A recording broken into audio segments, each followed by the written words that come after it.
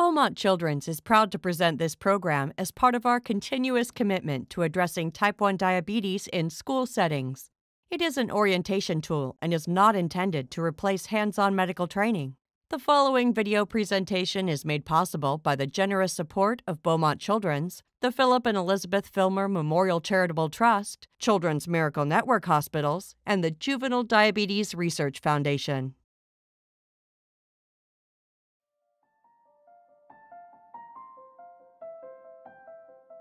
This is what type 1 diabetes looks like. It's children leading normal lives by eating on a schedule, testing their blood sugar levels consistently, adjusting their insulin as needed, and exercising regularly. It's also a parent worried about diabetes management while being away from her child. It's a teacher who needs to know how to handle a diabetic emergency. It's a principal working in a school, like most in Michigan, without a school nurse. As you can see, type 1 diabetes affects more than the child. We all need to help, especially when it comes to managing type 1 diabetes in the school setting. That's why Beaumont Children's created this video in partnership with JDRF. Don't worry, you don't have to memorize all this. We've included an easy to follow guide that explains everything in detail. By no means does this replace hands on training. This is about becoming familiar with what you need to do.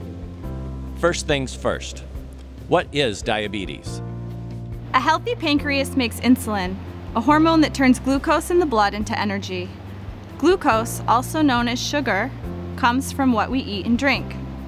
If your pancreas stops producing insulin, you have type 1 diabetes. This is sometimes called juvenile diabetes because it usually develops in children, adolescents, and young adults. Without insulin, glucose builds up in the blood, causing high blood sugar. Someone with type 1 diabetes must put insulin in their body through injections or an insulin pump. Now, if someone's pancreas can produce their own insulin, but it's not enough, or ineffective in turning blood sugar into energy, that person has type 2 diabetes. Type 2 can sometimes be managed with diet and exercise alone, or with oral medications, and in some cases with insulin injections. Most school-age children with diabetes have type 1. Unfortunately, as our society becomes more overweight and sedentary, type 2 has become more common in school-age children. Part of keeping type 1 diabetes under control is regular blood glucose checks. You'll find a lot of different glucose meters out there. These glucose meters, also called glucometers, are all simple to use. They work in similar ways you should get specific instructions from the parents about their child's meter. Basically, you take a drop of blood, usually from the fingertip, and place it on a special test strip in a glucometer to get a blood sugar reading. Now, some people use a continuous glucose monitor, or CGM. It attaches to the body like an insulin pump and requires less finger pokes and meter tests during the course of the day. Before we go into what these readings mean, you should first be familiar with what we call food doses and correction doses. Both types of doses do require some simple math, and understanding all of the terminology does take some practice. So remember, if you ever get confused, you can always refer to your guide. A food dose is how much insulin you give someone at his or her scheduled mealtime. This is part of a child's daily management routine. Just take the total grams of carbohydrates in a meal and divide that by the student's insulin to carbohydrate ratio. That ratio should be in the school management plan. Whatever number you get is your food dose of insulin. Let's say the student's blood sugar level is elevated above 150. You will need to do the following math to administer a correction dose of insulin. The correction dose of insulin corrects high blood sugars at mealtime. First, take the child's actual blood glucose level you've obtained from the glucometer and then subtract the child's target number, which is often 150. The answer we get is a variable we'll call x. Take x and divide that by the student's correction factor. This factor is a number that should be in the school's management plan. The answer you get is the correction dose of insulin. Add that number to the food dose of insulin. The sum you get is the total mealtime insulin dose you need to inject. We know this is a lot to digest, so we put all of this information and the equations in your guide. And if you're ever in doubt, confirm the insulin dosage with the child's parent.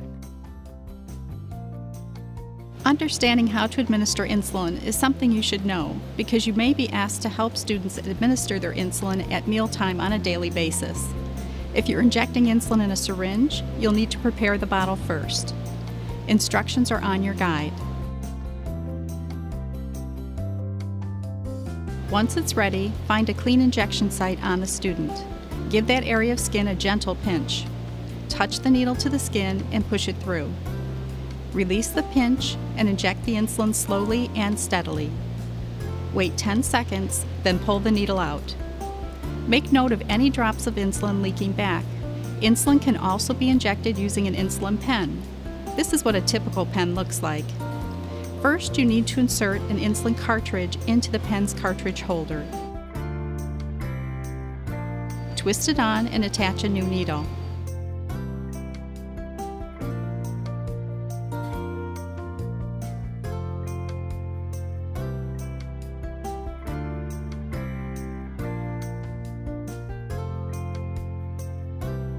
Holding the pen upright, select two units and press the dose button until it says zero.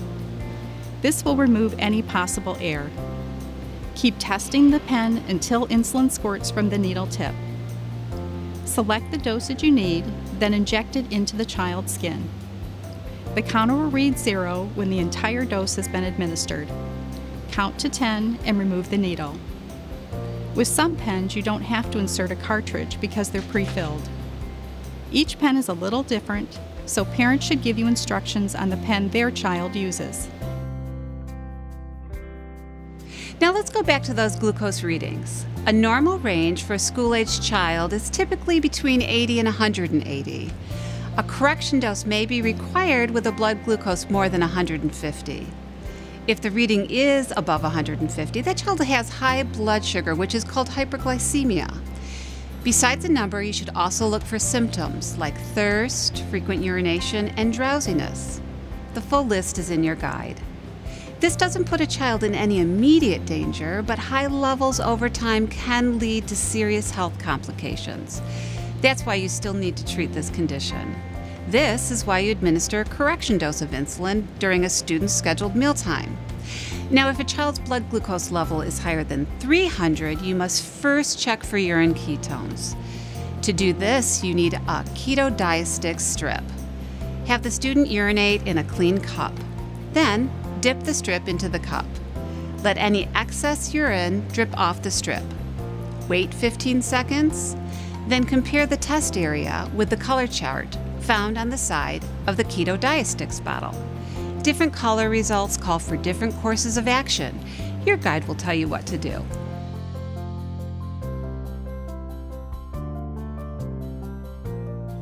Now, let's talk about if a student's blood glucose level is 80 or lower. He or she has low blood sugar, which is called hypoglycemia. This is the most common and potentially dangerous condition for someone with type 1 diabetes. If left untreated, it may lead to severe low blood sugar, which can be life threatening.